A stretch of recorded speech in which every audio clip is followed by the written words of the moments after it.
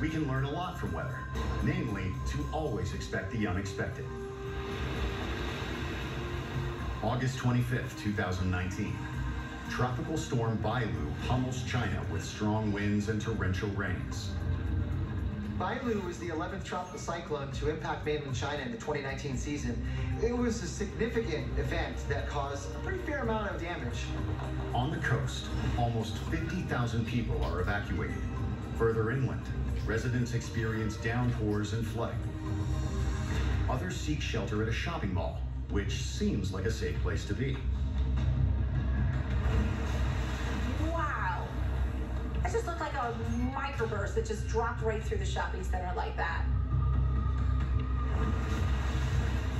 Look how far she shoots back. She's like a missile getting propelled back by the water. She is so lucky she didn't get propelled over that handrail. The deluge not only sends the shopper sliding down the hallway, it shatters a portion of the barrier, hurling shards of glass and water onto the first floor. Luckily, no one was seriously injured. You're dealing with a ton of rain, and of course, that rain can add up in weight and it can add up in its power, and that can be really impactful to even sturdy structures.